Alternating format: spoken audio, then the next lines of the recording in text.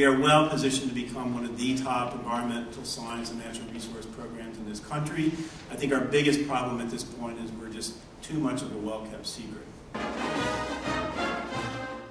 Hi, my name is Susie Burks. I'm the academic advisor for the School of Environment and Natural Resources. Um, we have four majors here in the school, which are environmental science, forestry, fisheries and wildlife, environmental policy and management, and parks, recreation, and tourism. And all four of those earn a Bachelor of Science in Environment and Natural Resources degree. The students that are coming out of high school, they're interested in, in the wildlife profession, are best served by coming to Ohio State because we have the premier wildlife program um, here in Ohio. So when they come here, they're going to have exposure to some of the top faculty um, in the nation as far as wildlife is concerned. They'll have interactions with other students that are um, also as motivated and, and passionate about wildlife as they are. The other part that's really special and really attracted me to the school is the diversity of uh, faculty and students that we have within the school. If you look at the uh, range of expertise and types of people that we have in the school, it goes from social scientists to uh, uh hard scientists that work on uh, uh, microbiology and, and basically the molecular and atomic level, and then everything in between. And I think wildlife is right in between. We deal with wild animals, wild organisms, and plants and the habitats that uh, wildlife depend on. Well, there's a lot of interest these days in climate change and other kinds of issues, and I think our School of Environment and Natural Resources, given the collection of faculty and students we have, is well positioned to not only identify the problems, but also start to think about solutions. What might be, say, politically feasible, what might people be willing to do or not willing to do, how people can work together to try to solve some of these problems. And that comes from the, the piece where we not only identify the problems through the natural sciences, but also think about human behaviors through the social sciences.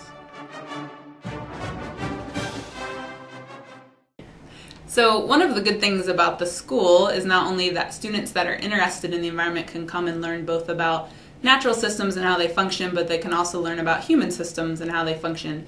Um, and our environmental policy and management major is the major that's probably most focused on the human system and helping students gain a better understanding of the relationship between humans and the environment across multiple scales.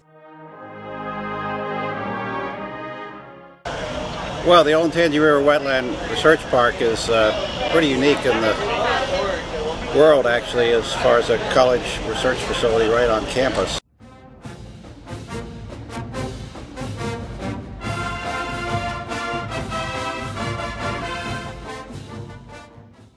One of the things I like a lot about Ohio State is from everything I've seen, I'm just totally convinced that it's really great at equipping students with the tools they need, with the education they need to be successful as they enter into the professional uh, field. Uh, students leave here, become wildlife managers, wildlife researchers, environmental policy makers, environmental scientists, uh, fisheries managers, fisheries researchers, uh, just anything that you want to do, you can do here at Ohio State and really tailor a program that uh, fits your passion. You're going to find that you're going to see the same faces over and over and over. And that's what creates this community. And I really like that. There are a lot of alumni that are graduates of the School of Environment and Natural Resources. The reach of the university spans across the entire world. And as uh, our dean oftentimes says, the sun never sets at Ohio State University. So there's plenty of people that you can connect with out there in the real world doing the work uh, and looking for people to replace themselves in the future.